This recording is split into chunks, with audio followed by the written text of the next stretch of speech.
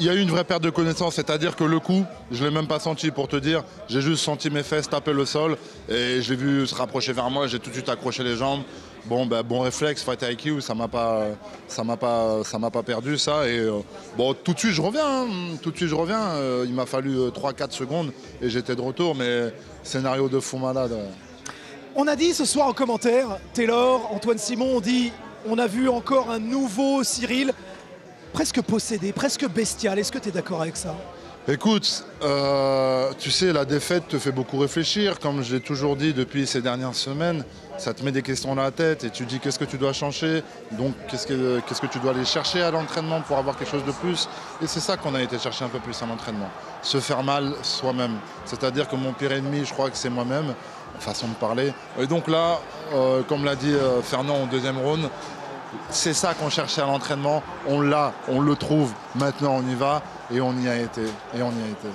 Il y a, joli, il y a beaucoup de jolies madames dans ta vie. Est-ce que tu as eu le temps de faire un petit coucou à Madame Gagne, ta maman, à ta compagne, à tes filles euh, Quand ça, ce soir? Oui. Non, elles eh ben, sont pas là. C'est exactement elles qui ne sont pas là. Mes filles, ma femme, ma maman ne sont pas là. Il y avait ma soeur, il y avait ma belle-sœur, il y avait mon frère, le beau-frère, le papa. Il y avait, non mais je sais bien Cyril, mais j'espérais qu'elle nous regarde. Elle ne nous regarde pas du tout à la ah, télé. Je sais pas, je sais pas. C'est une très bonne question. Malheureusement, je sais pas. Je suis pas sûr du tout. les commentateurs sont avec toi pour te poser une question, Cyril. Ah Cyril, tu nous as fait plaisir ce soir parce que j'imagine que tu as dû profiter du public de Bercy. C'était une ambiance assez incroyable. Moi je voulais te poser la question parce que j'ai eu la sensation que le combat face à Francis, c'était devenu un combat référence pour toi dans la défaite pour te remettre en question. Est-ce que ce combat où tu sors finalement de ta zone de, confort peut te permettre justement d'envisager un nouveau style? Euh, Maintenant la vérité c'est qu'on cherche ça. Comme je l'ai dit à l'entraînement, il faut voir pour aller chercher un peu plus. Et aujourd'hui, on cherche ça.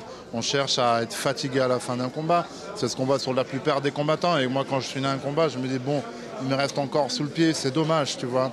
Euh, j'en deviens presque fainéant. On dit que c'est de l'intelligence, mais je crois que c'est plutôt que c'est de la fainéance. Et aujourd'hui, la, fainéantise. Et du coup, c'est ça qu'on est parti chercher ce soir. J'ai vu que j'avais touché, j'y suis allé encore, encore, euh, et en prenant un peu de risque. Mais bon, c'est comme ça. Cyril, est-ce que quand on est à l'intérieur de la cage, on entend qui ne saute pas n'est pas français Hé, j'en ai chialé. T'en as chialé Ah, je te promets. J'ai entendu, euh, surtout le, quand ils ont. Euh, la Marseillaise. La Marseillaise et Cyril, Cyril. Ça a sonné très très fort, ça. C'était au tout début du combat.